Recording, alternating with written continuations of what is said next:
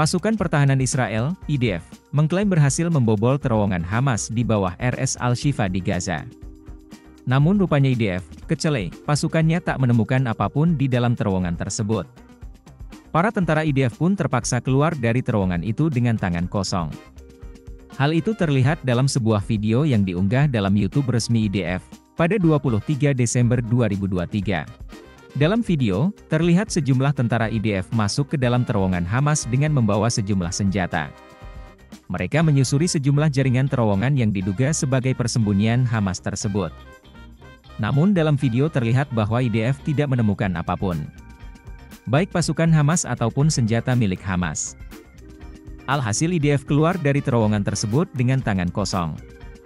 Namun dikutip dari I24 News, pada Kamis, 4 Januari 2024, IDF mengklaim bahwa pasukannya membongkar terowongan di bawah RS Al-Shifa tanpa merusak kompleks RS.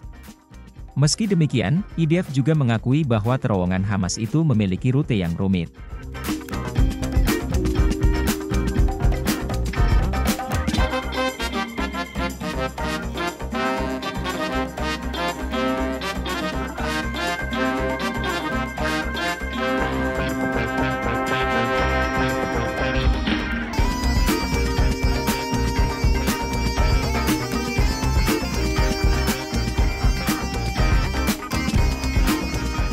Download Tribun X sekarang.